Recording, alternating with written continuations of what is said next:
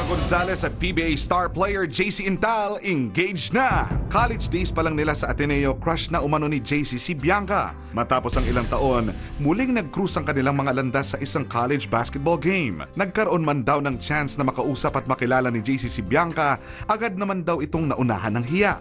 Ngunit dahil prosigido si JC na kilalanin si Bianca, naghanap raw ito ng common friends nila at saka hiningi ang number ng TV host.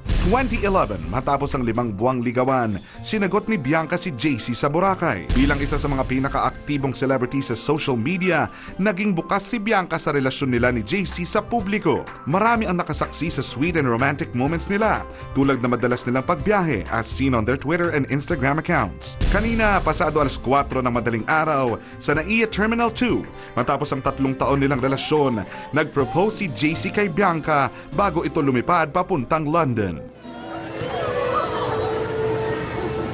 Sa salyo ng awiting Baby I Love Your Way, isa sa mga favorite songs ng couple, niyayang magpakasal ni JC si Bianca. Agad namang nag-yes ang TV host.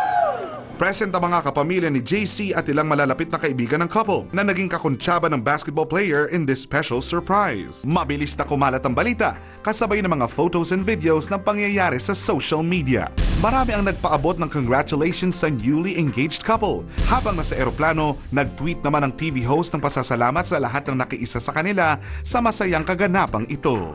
I was really nervous and uh, my hands uh, were shaking till now. But that moment, it's all worth it. Yeah, I'm glad na she said yes. We asked her if it's okay if we get married this year, this November, December. And okay naman sa kanya.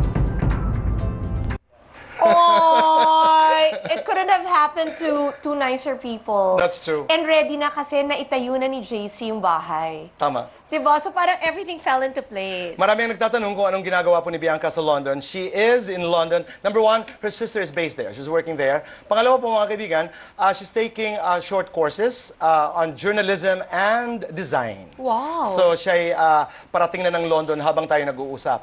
You know what's funny, Chrissy? Kahapon, uh, si JC co- uh, texted me.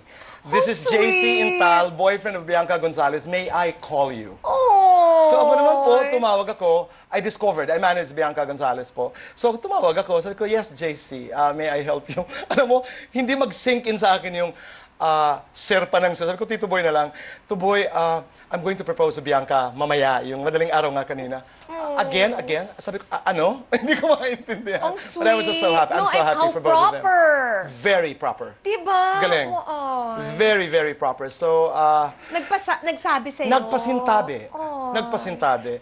Ang unang balak, mga kaibigan, was for Bianca, sana mangyayari dun sa, how do you call that, bridge, nose? Yes, yes, yes. Okay, dun Oo. dapat mangyayari, i-announce sana ng piloto na, uh, Miss Bianca Gonzalez, uh, something, somebody's looking for you outside. Pero, what happened? I think I would guess, I would surmise, na siguro security reasons, Yeah. o kaya ma, uh, may inconvenient, di ba, inconvenience.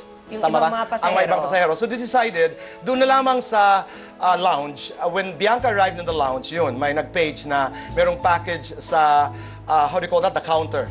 So, lumabas si Bianca, tapos binigyan ng mga rosas, at doon na, please say yes. Wow, love, love, love. Galing, no? Right before leaving, di ba? That's true. Parang how, how symbolic. Ang ganda ng journey. Galing, galing.